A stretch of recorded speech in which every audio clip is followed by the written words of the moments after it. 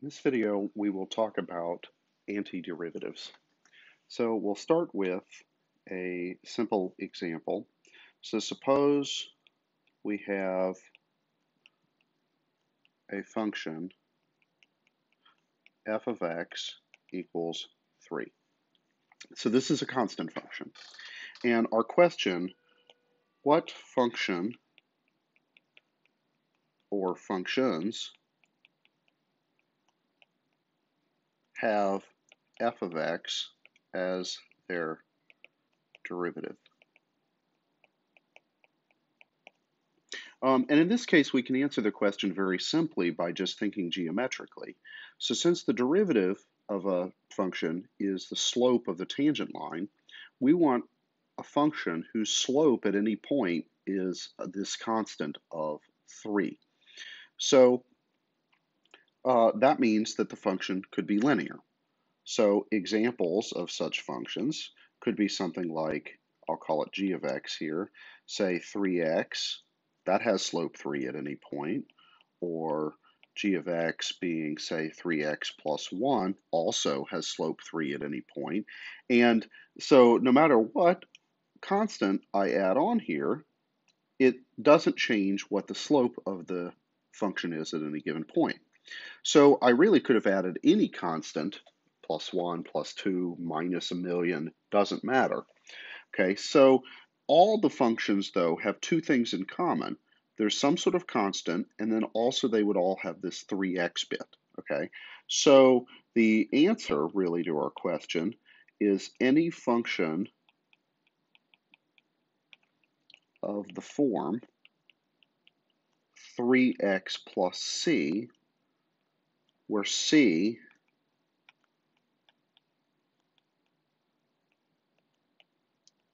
is any real number. So hence, there are infinitely many correct answers. And the reason that it's infinitely many is because we have infinitely many choices for the constant uh, value c. Uh, so in general, we just write 3x plus c, understanding that that c could represent some sort of constant.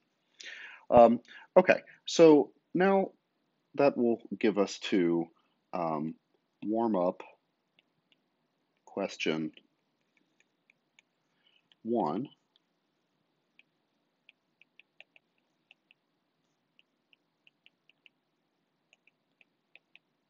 What is the antiderivative of f of x equals 5?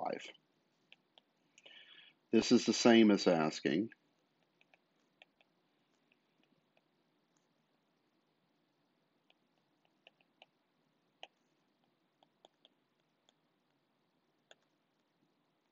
what function has 5 as its derivative. Um, okay, so let's move on to a new, uh, new white space here. And we're going to look at something slightly more exotic, uh, which is when the function is not constant. So for this example, I'm going to choose f of x to be 2x plus 3. And we want to answer the same question as we did before. Um, so I want to come up with a function that has this as its derivative. Uh, and there's a couple ways that we could at least start. The first is to notice, well, we already know what to do with the plus 3 that's tacked on to the end because we just did that uh, a moment ago. But the 2x part, eh, not so clear what to do this time because that's not a constant function. Um, so if we go back to um, the power rule, Okay, so this is what we were learning about um, in section 2.2.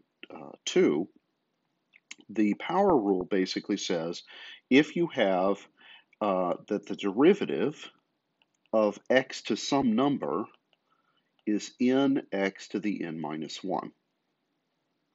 So what we essentially need to use here is to think about this backwards to come up with a backwards version of the power rule. So uh, I want a function whose derivative is 2x plus 3. So let's worry about the 2x part first. Okay, so what function has derivative 2x? We'll worry about the plus 3 later. Well, from the power rule, we could probably guess that if you take the derivative of something and the power drops, if I want to have my function after I've taken the derivative be 2x, then I probably need to start with something of the form x squared. Okay, so let's just say our guess would be something like g of x equals x squared. Then let's test it out.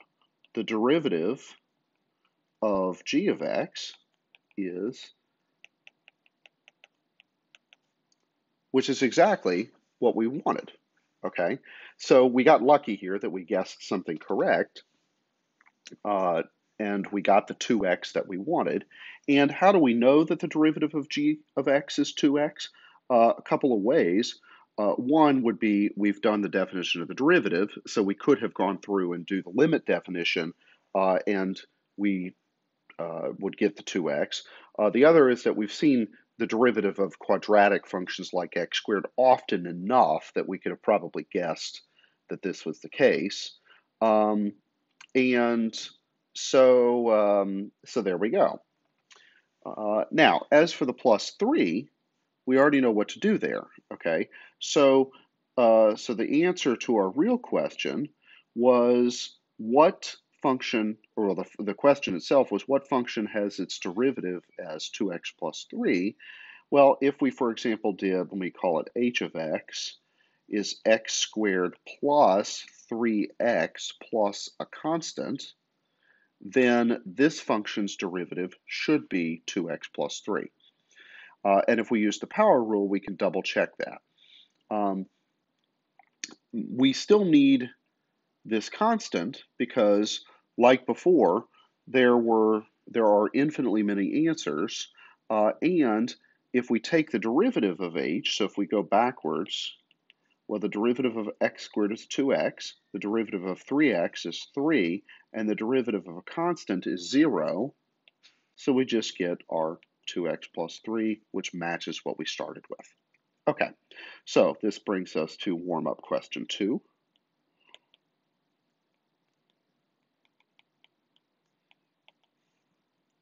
Okay, find the antiderivative